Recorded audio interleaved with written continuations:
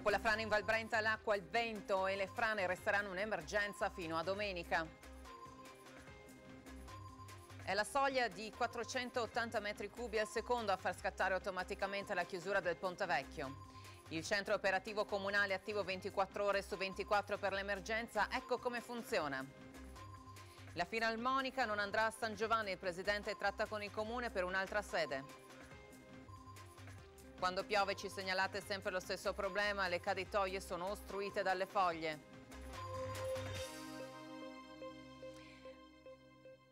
Buonasera telespettatori, benvenuti a questa nuova edizione di Bassano TG. Ovviamente partiamo con il maltempo perché con il maltempo cresce anche il livello di attenzione per il Ponte Vecchio. Allora vediamo subito gli aggiornamenti nel nostro primo servizio. Il Ponte degli Alpini è stato chiuso quando il Brenta ha raggiunto la quota 2,66 metri e una portata di 480 metri cubi al secondo. Tutto questo per garantire la sicurezza dei cittadini con l'interdizione del manufatto ai pedoni e il ponte rimarrà chiuso fino al cessato allarme. Per il bacino dell'Alto Brenta è passato il livello rosso per quanto riguarda la rete idraulica principale ed è rimasto rosso anche per la rete idraulica secondaria e sul fronte idrogeologico, appunto quello delle frane. Per quanto riguarda invece il bacino del Corlo, questo deve rimanere il più basso possibile nel momento in cui arriverà al picco massimo di precipitazioni, un provvedimento che è stato preso per contenere le portate del fiume Brenta e non pregiudicare la stabilità del ponte di Bassano a tutela anche della popolazione di Valstagna. Il Comune di Bassano ha attivato il COC, il Centro Operativo Comunale di Piazza Castello. C'è una sala di emergenza aperta 24 ore su 24 per monitorare l'emergenza e dare anche consigli sia alla popolazione che anche alle aziende in caso di maltempo. Allora vediamo come funziona. Salve, ehm, allora chiamo perché eh, l'attuale livello del Brenta è in crescita a causa delle piogge. La situazione al momento è molto tranquilla, eh, però è prevedibile che nei prossimi giorni si alzi ancora e ci sia il rischio di allagamento delle parti basse dei fabbricati. Ecco, spieghiamo e facciamo vedere cos'è un COC, perché chiaramente non tutti i telespettatori sanno cos'è un COC. Allora, il, il COC è un centro operativo comunale che viene attivato in casi particolari. Eccoci. Prego.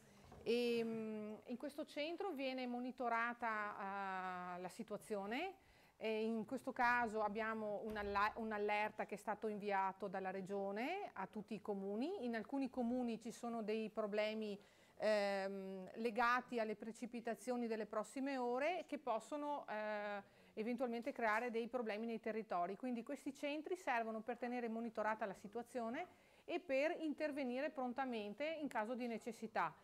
Facciamo anche un'azione preventiva perché eh, in alcune situazioni andiamo magari anche a contattare se ci sono cittadini da allertare senza voler allarmare nessuno, però metterli al corrente che potrebbero esserci dei, dei, punti di criticità magari in qualche ora della giornata. Ecco, qui gli operatori, in questo caso gli scout, stavano proprio telefonando alle aziende eh, che sono vicino al Brenta. Diciamo, allora abbiamo intanto la, per fortuna la collaborazione di tante associazioni della protezione civile e qui abbiamo un esempio quest'oggi. Eh, vengono um, avvisati eh, coloro che hanno magari abitazioni o attività sui punti, nel nostro caso lungo il percorso del Brenta, che potrebbero magari avere degli effetti con un innalzamento delle acque che possano provocare eventualmente piccoli allagamenti o cose di questo genere. Ecco, in generale voi preferite essere più prudenti che che no, cioè a volte eh, la popolazione non comprende i vostri allarmi, magari la chiusura del ponte in via precauzionale. Esatto, beh, questo vale non solo per noi, ma a partire dalla regione e dalla prefettura che si è attivata ancora ieri pomeriggio è meglio prevenire, quindi dire è possibile che ci siano dei fenomeni importanti, attiviamoci perché così se dovessero accadere siamo pronti. Per quanto riguarda il ponte noi abbiamo una soglia di attenzione maggiore perché come ben sapete il ponte non è in condizioni ottimali, abbiamo metà stilate che sono ancora ehm, danneggiate quindi non sono ancora state ripristinate e proprio per questo se l'acqua raggiunge una certa soglia in automatico parte un allarme e vuol dire che il ponte verrà chiuso per lo stretto tempo necessario, verrà chiuso al passaggio dei pedoni. E la furia dell'acqua, il vento e anche la situazione della frana sono i fronti aperti dal maltempo in Val Brenta. Una valle incuneata tra il Grappa e l'Altopiano per 25 km e 5.000 abitanti in apprensione per il maltempo di queste ore tra i fronti aperti che impegnano sindaco e amministrazione 24 ore su 24, la pioggia e di conseguenza il livello dei fiumi, non tanto del Brenta sotto controllo, quanto dei corsi d'acqua secondari che si ingrosseranno nelle prossime ore prima di finire proprio nel Brenta. Qui è allarme rosso, il secondo fronte è quello del vento.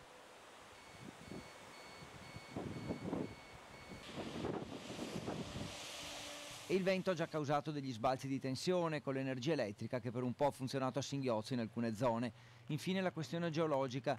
Anche qui allarme rosso dopo che con un boato nella notte dei massi si sono staccati nella contrada mattana di Collicello, costringendo il sindaco a far evacuare sei famiglie e una quindicina di persone in tutto.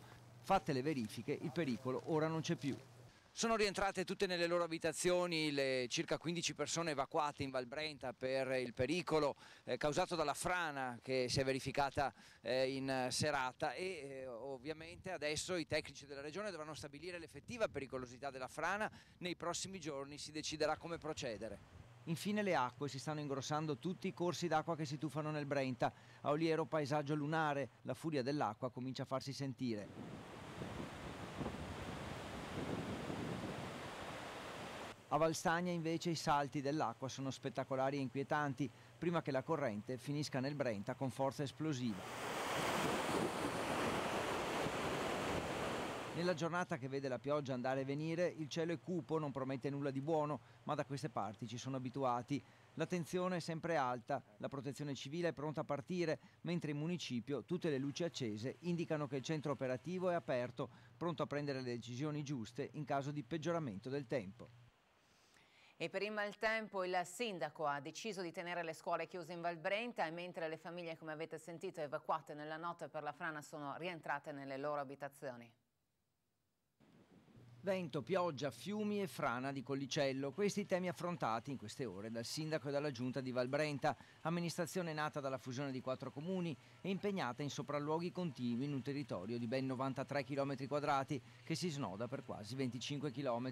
Nel municipio di Valstagna è stato attivato il COC, centro operativo comunale, in contatto diretto con la prefettura. Noi abbiamo aperto il COC come da indicazione del prefetto e chiuso le scuole questa invece è stata una decisione autonoma mia del comune di Valbrenta.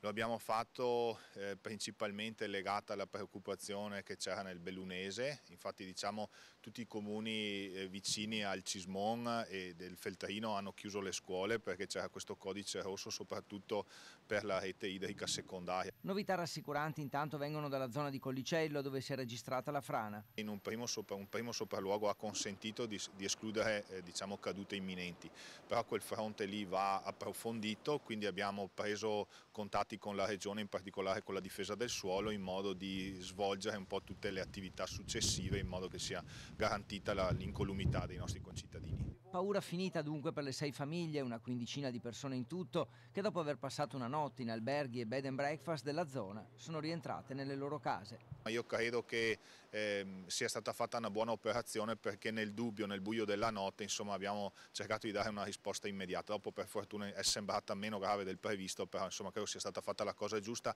e io ringrazio sempre i miei concittadini perché hanno capito la singolarità del momento non hanno fatto nessuna polemica, anzi. La Casa della Musica che doveva sorgere al vecchio ospedale e spostata alla chiesa di San Giovanni in centro non piace alla Filarmonica Bassanese. La Casa della Musica alla Chiesa di San Giovanni, come deciso dalla nuova amministrazione, proprio non piace alla Filarmonica Bassanese. Troppi problemi di tipo logistico.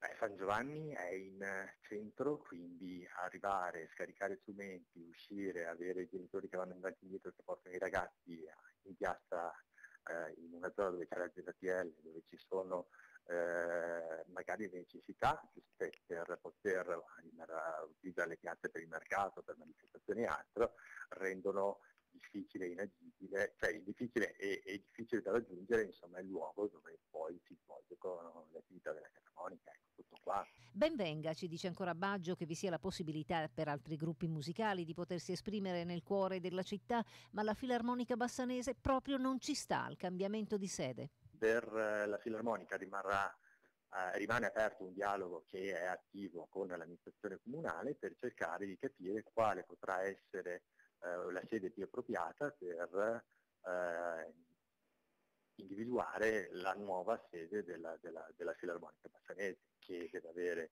delle aule di, di studio, delle aule di prova e, e quindi tutta una serie di caratteristiche un po' particolari in Viale Scalabrini la pioggia rischia di creare problemi e il perché arriva da una segnalazione dei nostri telespettatori. I telespettatori segnalano e Rete Veneta risponde. In questi giorni di pioggia intensa l'attenzione va alle strade e alle cosiddette caditoie, le griglie che devono ricevere l'acqua che scorre ai lati delle strade per impedire che si formino pozzanghere o peggio allagamenti. Una situazione prevista dai bollettini meteo, ma che in alcuni casi, come questo, segnalato dai nostri telespettatori, lascia a desiderare. Siamo andati a verificare e in effetti le caditoie di Viale Scalabrini sono parzialmente, in alcuni casi, del tutto ostruite dalle foglie secche e dai rami. È evidente che se non svolgono la loro funzione e non ricevono l'acqua piovana, il pericolo di allagamenti in una delle strade più trafficate della città è dietro l'angolo. In caso di previsioni negative, la manutenzione dovrebbe essere sempre programmata per tempo per garantire sicurezza alle abitazioni e, come in questo caso, anche agli automobilisti. Intervenire con la pioggia in corso è ovviamente più difficile e meno efficace. E continuate quindi a scriverci attraverso il nostro TG Linea Aperta proprio sul degrado vicino a casa vostra, quindi mandate un messaggio via Whatsapp al 340 32 18379 oppure inviate un'email. Ed è stato presentato il programma del Natale a Bassano con diverse novità.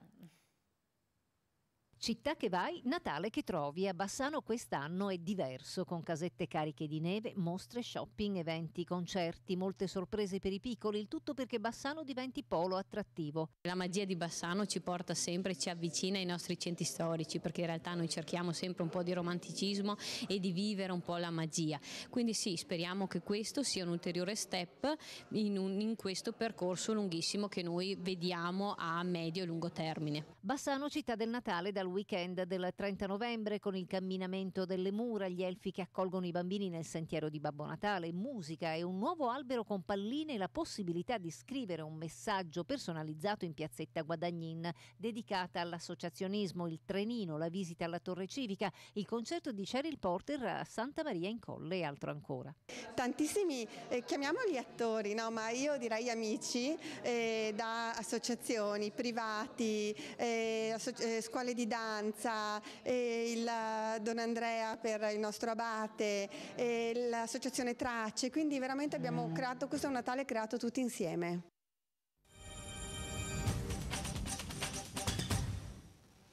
Incidente giovedì a Campo San Piero, un camion ha sbagliato la curva ed è rimasto incastrato per ore sopra il Muson dei Sassi. Una curva presa troppo stretta e il tir si è inclinato. Incidente giovedì pomeriggio lungo l'argine vecchio del Muson a Campo San Piero. Paura per un camionista friulano di 55 anni che fortunatamente è rimasto illeso.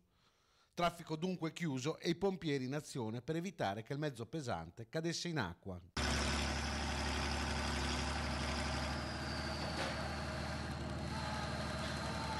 Dopo alcune ore, grazie all'intervento degli agricoltori della zona con alcuni trattori, il camion è stato spostato. E nel prossimo eh, servizio vediamo se ci sarà qualche spiraglio di sole nel prossimo fine settimana. Allora sentiamo il generale Giancarlo Iannicelli. Subiamo ancora gli effetti di una depressione che ormai è ferma da diversi giorni su di noi ed è impedita nello scorrere, quindi a lasciare le nostre zone, a permettere un miglioramento, è impedita eh, nel movimento verso est da un'area di alta pressione molto intensa sull'Europa orientale, quindi continua a generare sistemi perturbati, continua a indirizzarci sistemi perturbati, i cui effetti purtroppo sono evidenti. E anche per questo fine settimana avremo un tipo di tempo eh, variabile ma a tratti anche abbastanza frequentemente perturbati. Quindi perturbato. Vediamo intanto più nel dettaglio, sabato mattina eh, abbiamo una nuvolosità variabile, anche intensa, senza fenomeni, poi nel corso della mattinata avremo un peggioramento, si approssimerà un sistema perturbato che porterà piogge diffuse, eh, anche se non intense ma continue, quindi oh, daranno un contributo ancora importante alle piogge già cadute. Per domenica, primissime ore, sentiamo ancora gli effetti del passaggio del sistema perturbato, primissime ore, ripeto, di domenica e poi un miglioramento anche domenica. Una nuvolosità irregolare, variabile, non escluso con un po' di fortuna nel corso della giornata anche dei, dei temporanei rasserenamenti. Una variabilità che ci accompagnerà per lunedì e poi martedì, almeno per quelle che sono le carte attuali, eh, ci danno un peggioramento di nuovo del tempo. Quindi anche la prossima settimana in gran parte sarà l'insegna del della, della variabilità e della, di questa instabilità insomma, che ci continuerà a interessare. I venti sono deboli ma moderati con qualche rinforzo anche significativo, inizialmente dai quadranti occidentali e poi temporaneamente si pongono improvvisamente dai quadranti nord-orientali, quindi area più fresca. Eh, temperature, temperature appunto minime 7-8 gradi, le massime dagli 11 ai 13 gradi. Per finire l'Alta Adriatico naturalmente con questa situazione si presenterà molto mosso, addirittura agitato. Focus da non perdere questa sera, autonomia nella tempesta, questo è il titolo della puntata in diretta da Villafranca Padovana. Allora con il nostro direttore Luigi Baccialli eh, discuteranno di autonomia e anche di maltempo Maurizio Conte, Paolo Feltrin, Renato Masonna e Eugenio Benettazzo. Quindi non perdete l'appuntamento a partire dalle 21.15 questa sera. Il nostro telegiornale quindi termina qui. Grazie per essere stato in nostra compagnia. Vi auguro una buona serata. Arrivederci.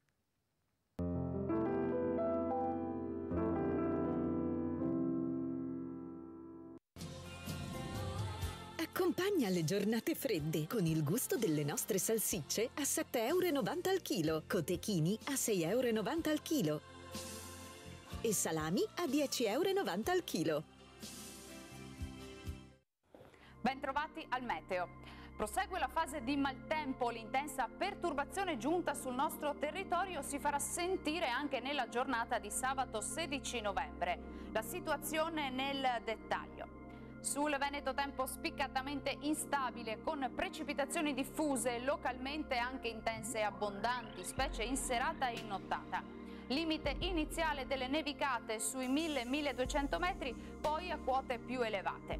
Temperature minime tra 6 e 9 gradi, valori massimi compresi invece tra i 10 e i 12 gradi. Tempo perturbato anche a Vicenza, a Bassano del Grappa in particolare sarà una giornata, vedete, caratterizzata da rovesci e temporali sin dal mattino con quantitativi di pioggia consistenti, specie in nottata. Temperature stazionarie. Dal meteo di Rete Veneta per ora è tutto, arrivederci. Per ogni occasione speciale stupisci i tuoi ospiti con i nostri rinfreschi. Panini mignon 80 centesimi, torte intere 10,90 euro al chilo. Cherubin, a Bassano, via Gobbi.